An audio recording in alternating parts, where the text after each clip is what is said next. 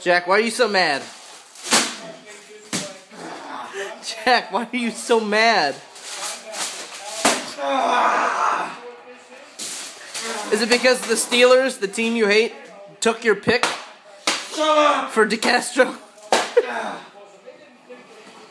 No, that's Hungry Howie. There's pizza in there, you asshole. He just stomped the pizza. What kind of asshole stomps our dinner? Why would you stomp on our dinner, Jack? I would like an explanation.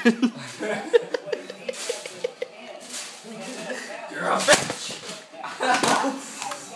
My computer! I can't believe it.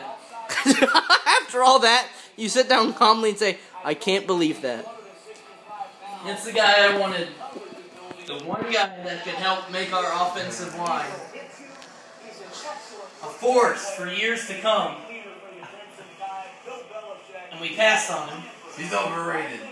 And the Pittsburgh Steelers of all teams, the goddamn Steelers drafted him.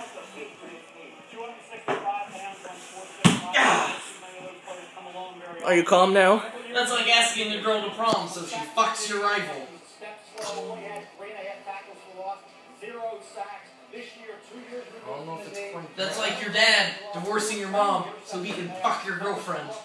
Oh! Hey! My dad would.